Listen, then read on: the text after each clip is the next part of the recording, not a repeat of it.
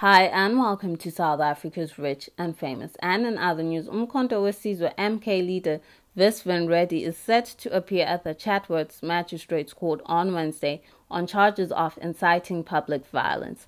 Last month, Reddy allegedly made inflammatory remarks during an MK rally in KZN, saying there would be anarchy and riots if the party was removed from the ballot. Reddy's spokesperson Sabina Chetty said his comments had been taken out of context. She said Reddy never meant to incite violence. In all essence, all that Mr. Reddy was trying to say is that the public itself are well behind MK and Ubaba Zuma right now, and having to deliberately take MK off the ballot sheet was obviously going to create some chaos. At the time of the comments, MK was facing a court challenge from ANC to have it deregistered as a party. For more stories like these, kindly do keep subscribing to our YouTube channel at South Africa's Rich and Famous.